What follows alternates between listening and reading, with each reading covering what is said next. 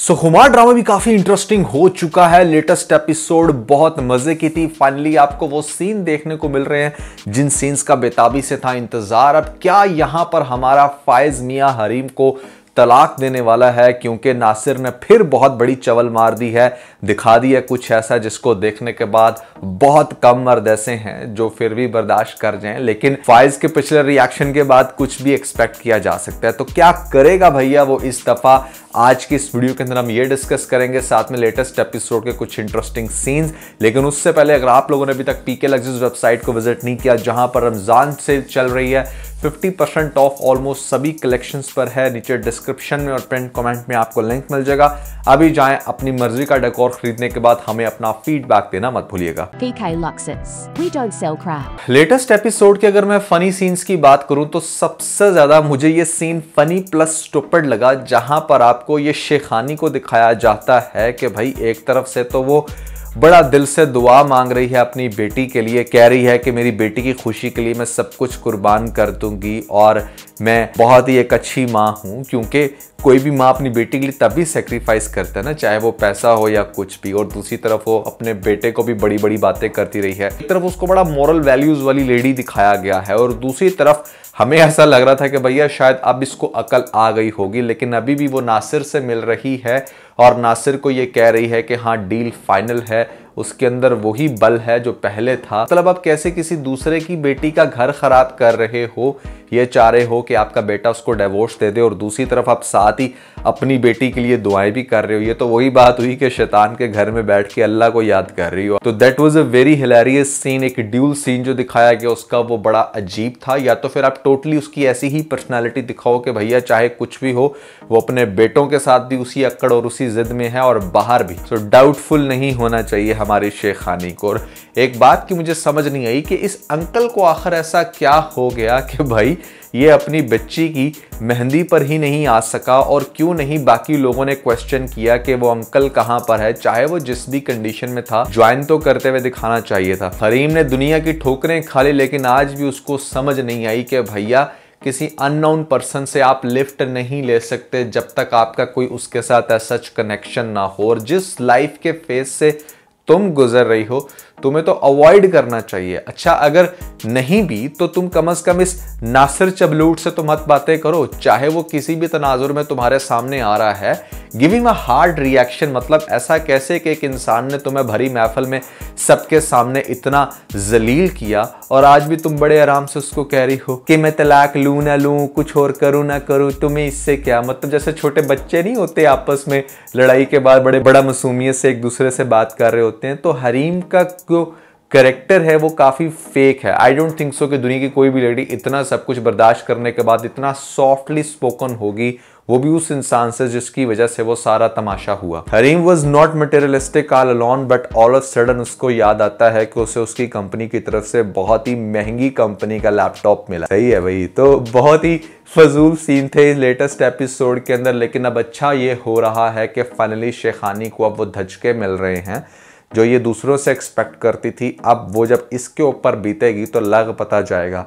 एक तरफ़ से तो भैया पैसा नहीं है अकाउंट्स में बहुत सारी चीज़ें डाउन हो रही हैं, लेकिन फिर भी गाड़ी बुक करवा दी है, दस लाख रुपए की कमिटमेंट कर दी है। दस लाख इसने फर्दर देना है कि इसलिए कि भाई, उसका जो दूसरा बेटा है फाइज वो उस लड़की को तलाक दे दे, जिसने आज तक इनकी फैमिली को बिल्कुल भी हार्म नहीं किया, बल्कि खाने पका पका के खिलाए हैं। तो ये किस किस्म की औरत है कि वो लड़की जिस पर तुम पैसे लुटाकर घर में लाई थी, वो तुम्हें चगमा दे गई है, तुम्हारे बच्चे को भी ले गई है। तो इतनी तो अक्ल आई थिंक इसके अंदर आई जानी चाहिए। आई थिंक इस स्टेज के ऊपर ये सीन बनता ही नहीं था इस शेखानी के लिए। और अगर आपने ऐसा सीन दिखाना भी था कि जहाँ पर नासिर ने आकर कोई ऐसी डिमांड करनी थी तो ये चीज़ों को ट्रोल कर सकती थी। इसकी पर्सनैलिटी में थोड़ा सा आप चेंज दिखाते कि हाँ अब वो अवॉइड करने लग रही है, या वो उसे कह रही है कि ठीक है, बाद में सोचेंगे, तुम फ़िलहाल यहाँ से जाओ। लेकिन नहीं भाई, वो तो कह रही है डील डन तो डील डन का मतलब ये है कि अभी भी वो सारा कुछ होगा। तो ये सब लोग मिलके बहुत ही बुरे तरीके से भट्टा बैठा देंगे, बल्कि भट्टा तो बैठ गया है, अब दिवालिया निकलने वाला है इसका। नेक्स्ट एपिसोड में आपको बताया जाएगा कि यहाँ पर फाइज आकर अपने अब्बा मियाँ से कहेगा कि रेयान ने ना सिर्फ़ हमारी कंपनी को लूटा है, बल्कि उस पॉइंट पर वो छोड़कर गया है कश्ती को, जहाँ पर वो जाते जाते छेद भी लगा गया है। अब सिर्फ़ हम डाउनवर्ड जा रहे हैं और बहुत जल्द हमारा बिज़नेस खत्म हो जाएगा।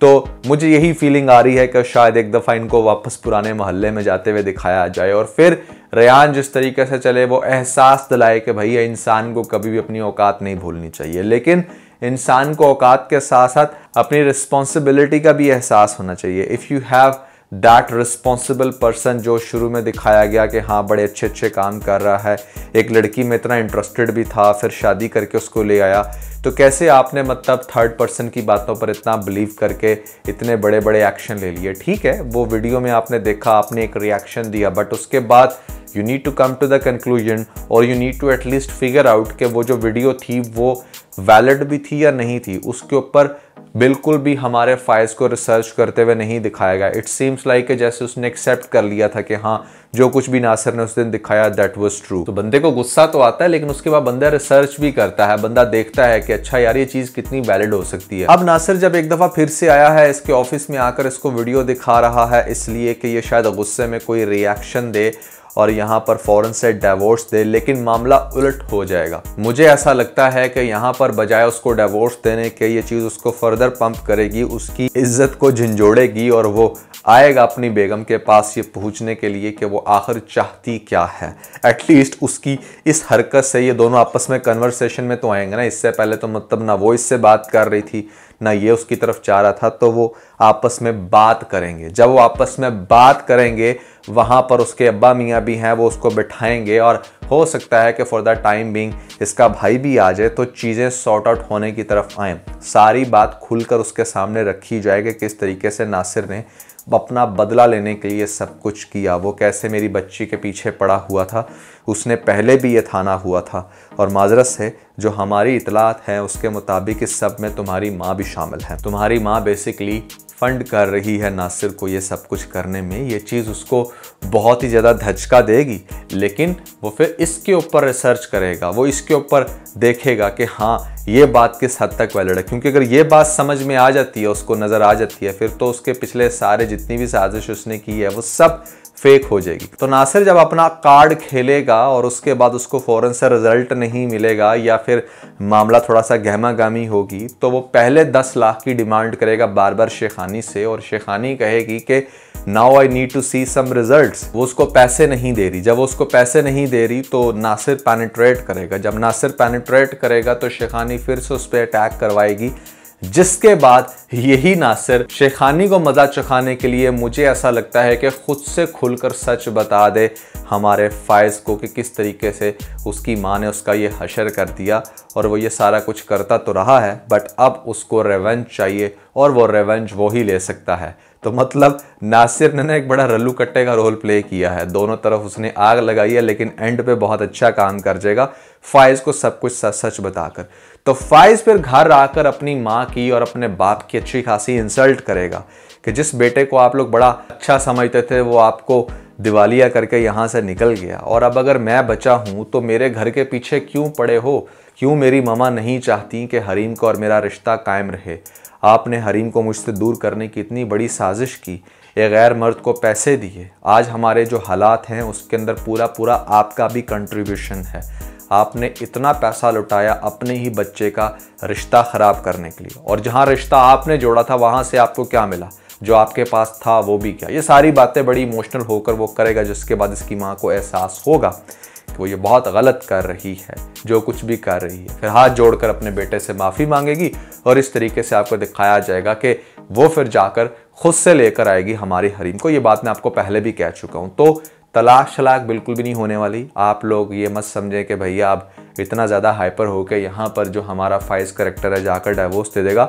ऐसा नहीं होने वाला। और वो जो आपको थर्ड पर्सन दिखाया गया है उसने ये कहा है कि मैं अच्छा दोस्त हूँ तो आई बिलीव कि वो अच्छा दोस्त बनकर ही रहेगा। शादी की डिमांड नहीं करेगा ऑल दोस्त की अम्मा ये चाहती है कि हाँ हरीम के साथ उसकी शादी हो जाए, क्योंकि उसकी अपनी बेगम बड़ी चवल है।